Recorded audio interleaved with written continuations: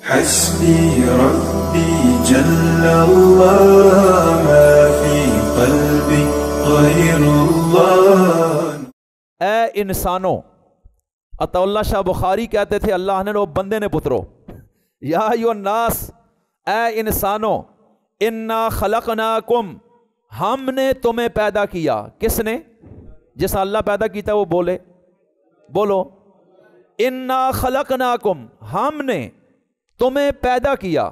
मिन जाकरिन, मर्द व उनसा और औरत। किसी को मर्द बनाया, हमने बनाया। किसी को औरत बनाया तो हमने बनाया। वजालना कुम शूबा और हमने बनाए हैं तुम्हारे, तुम्हारी पोतें, तुम्हारे कबीले, कबाइल।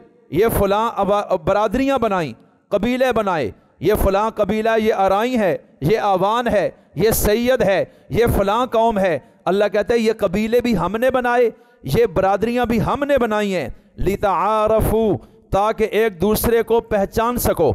इसलिए अगर ये बरदरियाँ और ये कबीले न होते, और एक नाम के तो हज़ारों बंदे दुनिया में हैं तो क्या पता चलता कि किस शख्स का ज़िक्र हो रहा है।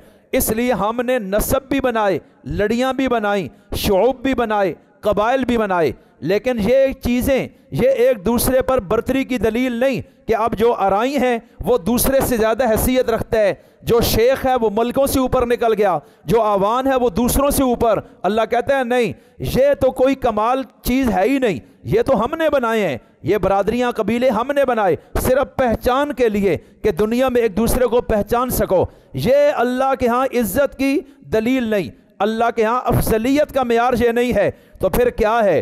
इन अकरमकुम, यकीनन बेशक तुम तमाम लोगों में अकरम, सबसे ज़्यादा इज़्ज़त वाला, सबसे ज़्यादा मर्तबे वाला, सबसे ज़्यादा दर्जे वाला इन अल्लाह के नज़दीक वो है, अतकाकुम, जो तुम में सबसे ज़्यादा परहेजगार है। अब अल्लाह कहते हैं कि कोई किसी भी बरादरी का है लेकिन उसमें तकवा है, परहेजगारी है, अल्लाह की मोहब्बत, अल्लाह का खौफ अल्लाह की अजमत जितनी ऊँची ये चीज़ उसके दिल में अल्लाह के बारे में उतना ही बड़ा अल्लाह के यहाँ उसका मकाम है। चाहे रंग का काला है, आँख से काना है, टांग से बिल्कुल फारग है, इससे कोई फ़र्क नहीं पड़ता। सेहत के लिहाज से मोटा है या पतला, गोरा है या काला, कोई फ़र्क नहीं पड़ता। अल्लाह कहते हैं, ये तुम्हारे दरमियान ऊंच नीच पहचान के लिए बनी हुई है। अल्लाह इन चीज़ों को हैसियत नहीं देता।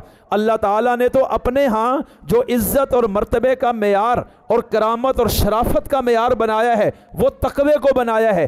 तो कहा, जितने तकबे वाले हैं, वो मेरे यहाँ बहुत इज़्ज़त वाले हैं, लेकिन जो सबसे ज़्यादा इज़्ज़त वाला है अतकाकुम जो तुम में अतका है, सबसे ज़्यादा परहेजगार है, सबसे ज़्यादा अल्लाह का खौफ रखने वाला है, बस अल्लाह के यहाँ वो सबसे ज़्यादा करीब है और इज़्ज़त वाला है। और सूरतुल आला के आखिर में क्या फरमाया? हज़रत सिद्दीक अकबर के बारे में, वसयुजन्नबु हल अतका।